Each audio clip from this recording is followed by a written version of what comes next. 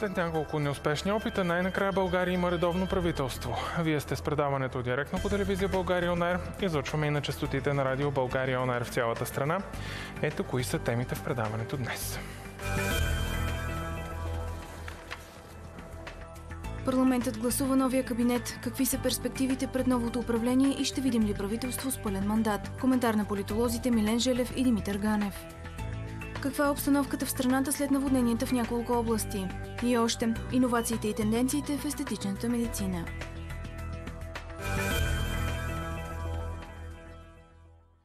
И днес темите в предаването може да коментирате на фейсбук страницата ни на нашия електронен адрес. Логично първата тема днес е свързана с политика, защото след два неуспешни опита България вече има редовно правителство. Това ни костваше три пъти ходене до секциите, милиони за организации и няколко скандала, които може би доста хора вече не помнят.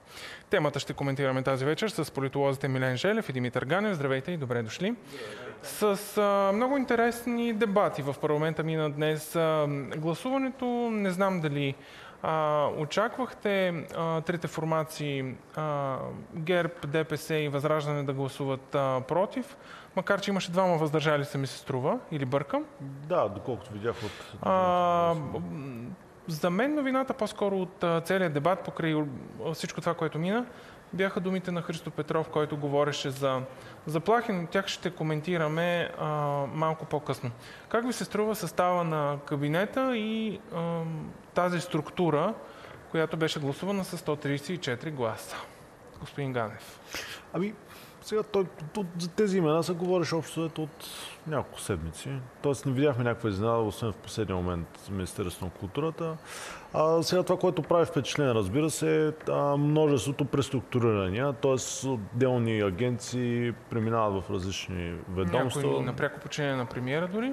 А, две неща ми правят впечатление по структурата. Първо, а, тези преструктурирания вероятно ще а, забавят, вече, забавят да кажем, може би крайно, но ще създадат вероятно определени администра... административни проблеми, може да забавят а, грубо казвам, инициативи на, на управленски инициативи. Второто нещо, което ми прави впечатление а, сериозната концентрация на ресурс в финансово министерство. Се превръща и без това винаги е било едно от най-важните министерства. Сега, бидейки отговарящ Сен Василев като вице-премьер, като финансов министр за европейските фондове. Това се получава като една изключително властена фигура. Тоест, ние с категоричност може да говорим за някаква форма на тандем. Тоест, толкова силна фигура се очертава.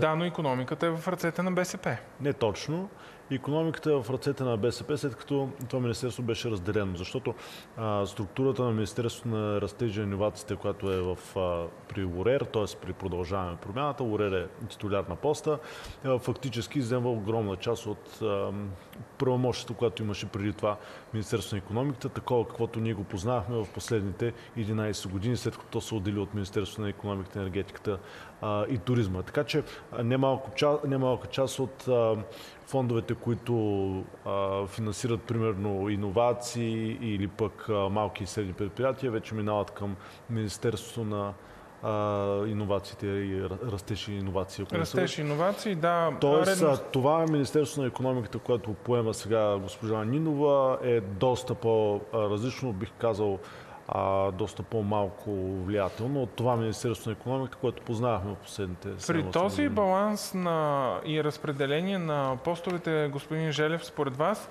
гарантира ли си това правителство пълен мандат?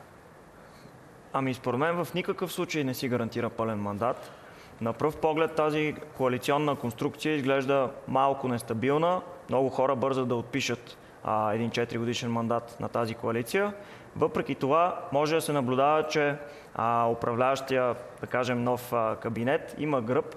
От една страна той се радва на широка обществена подкрепа, от друга страна, а, нека не забравяме, че има подкрепът на президентската институция, има външна подкрепа, а, имат примера с Чехия, където има пет партийна коалиция, mm-hmm. имат примера с Германия, където разписват едно коалиционно споразумение, което пак е някаква стъпка напред в изграждане на коалиционна Имаме култура и примера с Белгия, където също минаха през а, доста избори и служебни правителства, докато да. се нормализират нещата.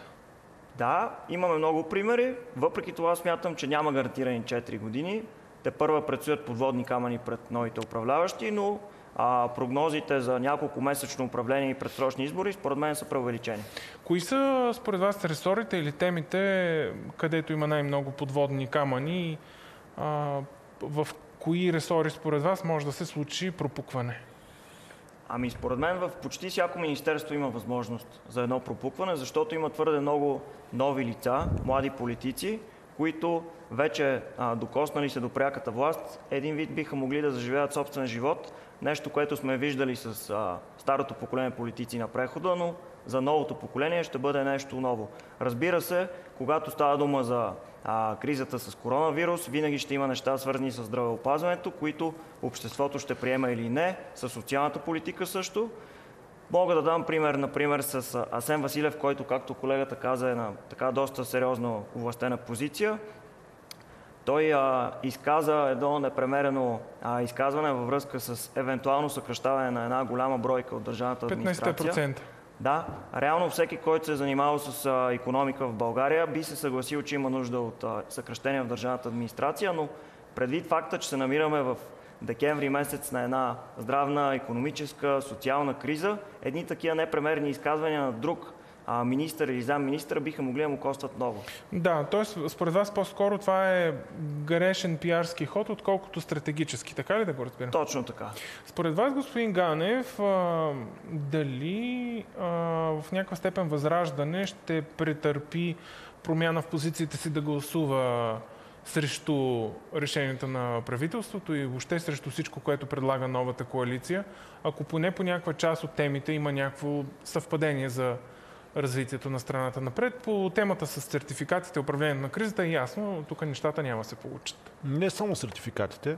А, общо взето на, на Възраждане играта а, е ясна и тя е в някакъв смисъл лесна, защото Възраждане, влизайки в парламента и това, което а, изразяват като позиция в последните няколко а, години, дори бих казал, е да са опозиция не на статуквото такова, каквото е, а на цялата ни система. Тоест, Възраждане е от партиите, които поставят под съмнение базови политически консенсуси, които а, са изградени в последните десетилетия, бих казал.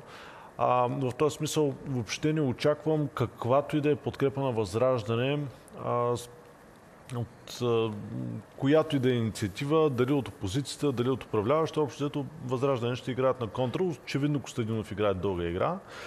А, и в интерес на истината, тъй като управлението, което се създава в момента, има така либерално-прогресивен характер, имам предвид най-вече неговата най-голяма част продължаване промяната, Демократична България също не крият този профил. А, няма, няма да се очудя част от недоволството, което ще се трупа. Неминуемо от всяко управление има недоволство. Част от недоволството да се излива и във възраждане, а не само в ГЕРБ, каквато, каквито вероятно очаквания си правят. Възможно ли според вас гласовете, които ще подкрепят това правителство, да станат повече от 134? Не. От тук нататък може да има... По никакъв начин. Не. А, и от тук нататък имайте преди, че не може да има и кой знае каква е ерозия. А, сега, разбира се, може някой депутат да напусне някоя парламентарна група. Да, но да така иначе, една от, една от формациите, ако напусне управлението, това означава правителство на криза и нов мандат за управление. Нали? Дали предсрочни парламентарни избори, дали нов кабинет в рамките на това Народно събрание, друг въпрос, но аз да продължа и тезата на колегата, която започна. А, абсолютно невъзможно. Разбира се, се дават прогнози за 2-4 години и така нататък, но а, общия знаменател, който крепи общо взето тази конфигурация е липса, т.е. явния политически интерес на всяка една от формациите да няма предсрочни парламентарни избори сега. В момента, в който някои от формациите види своя политически интерес през това да има предсрочни парламентарни избори, нямайте никакво съмнение, че това е финала на, да, на това обаче, управление. дали според вас, господин Желев, продължаваме промяната, платиха висока цена за това правителство, като се отказаха от а, че, тази нова схема, която раздаде Министерство на другите партии. Да, съгласен съм, че като че ли доста щедро раздаваха министерски портфели или кресла, така да го кажем, но смятам, че една успешна формула за напред от тяхна гледна точка би могла да бъде точно обратната. Тоест да държат всичките си коалиционни партньори, а, да кажем, еднакво неудовлетворени. В момента, в който имат превес към една или друга от политическите партии или коалиции, това би могло да доведе до някакъв вид разпад на цялата коалиция. Ето защо а, те започват с щедро раздаване на постове, но според мен ще продължат с едно а, еднакво а, отношение към всички, към неудовлетворяване на различните фракции. Като вероятно това ще означава да, а, всеки да отговаря сам за Министерството си, защото доколкото разбираме, а, силата, която поема дадено Министерство, ще назначава и целият екип надолу. Няма да има смесване на представители от различни партии. На финала на този разговор, господин Ганев, искам да чуя вашия анализ на думите на а, Христо Петров, а, това, което каза днес в парламента, че е получавал а, заплаха, че ако продължи да подкрепя Кирил Петков и Асен Василев, ще загуби най-ценното, което има. Сега тук трябва да влезем в ролята на тълкователи на думите на Христо Петров. Аз а, не бих си позволил такова нещо, но ако той има предвид най-ценното, какво може да бъде най-ценното, живота или нещо свързано с децата ти, това е въпрос, в който трябва да се занимава главния прокурор и министър на вътрешните работи. Това означава, че е заплаха директна а, срещу Христо Петров. Надявам се а, това да има по-широк смисъл. А, едно от най-ценните неща е неговата репутация, която той има и популярността, която е. Този ход дали е в подкрепа на неговата репутация? Еми, вижте, а, по принцип, казвам го като човек, който се занимава с на общественото мнение. Политиците са едни от най-мразената общност въобще в група в а, България. А, Христо Петров, без всяко съмнение, беше един от популярните, обичани и харесвани лица. Всъщност все още е. Недвусмислено ролята му на народен представител, народният представител е еманацията на всичко най-лошо в очите на българина, създава огромни рискове пред неговата кариера, но в крайна сметка това не означава, че ще доведе до някаква катастрофа неговата кариера. Просто част от хората могат вече да не го харесват толкова, колко са го харесвали до сега. Благодаря ви за участието. В този част министрите вече а, разбирам, че отиват към ресорните си министерства. Утре ще е и техния първи работен ден. Благодаря ви още веднъж за участието. А ние се връщаме в студиото веднага след рекламите.